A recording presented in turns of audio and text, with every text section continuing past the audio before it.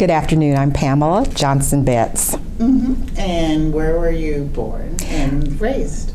I'm a native Topekan. I was born right here in Topeka, Kansas. I was raised in Topeka, Kansas. Um, always lived on the east side. Uh, my dad lived on the east side. My grandparents lived on the east side.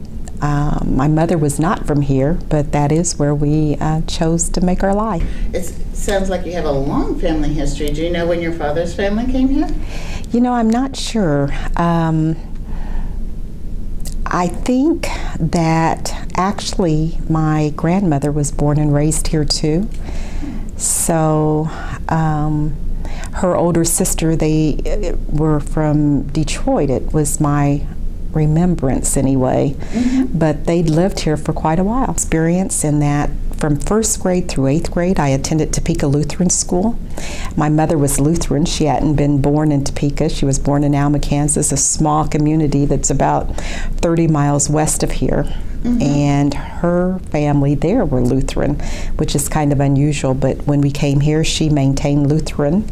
My dad stayed as a Baptist, so we had a split religion family, but nonetheless, we were very religious. Christianity was a key in our household. So at Topeka Lutheran, first through 8th mm-hmm. and after that, uh, ninth grade at East Topeka Junior High, so I was back in my neighborhood where I had grown up, and then to Topeka High School and graduated from Topeka High. Topeka Lutheran was a vast difference from the neighborhood that I lived in in my kindergarten year, where I experienced. Um, just teachers that looked like me, the principal that looked like me, uh, all of them knew my family. My school was one block from my house, and usually we had teachers or the principal that came over. We knew each other uh, very well.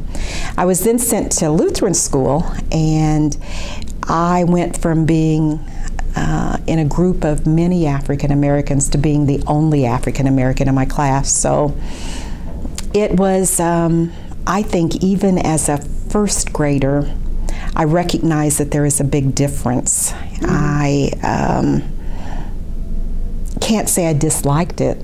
We all played together. It was kind of the same thing until I remember probably sixth grade is when I knew that it was really different. Although I had an experience before that. I think in third grade, one of my classmates came to me and said to me, does your dad drive a Falcon?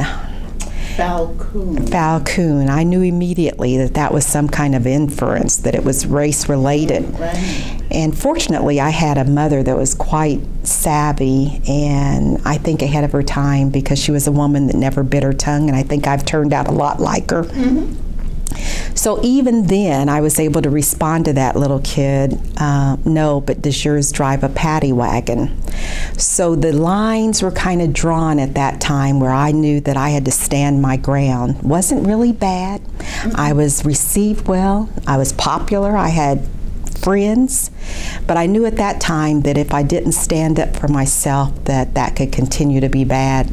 I remember going home though and saying that story, and my mother was not real pleased with me because she thought she had sent me to a Christian school for a for a reason. Right. She thought I would respond in a more turn the other cheek way, but I think silently and maybe subconsciously. She didn't allow me to know it, but I think she was pleased that I was able to stand up. But just those little incidents?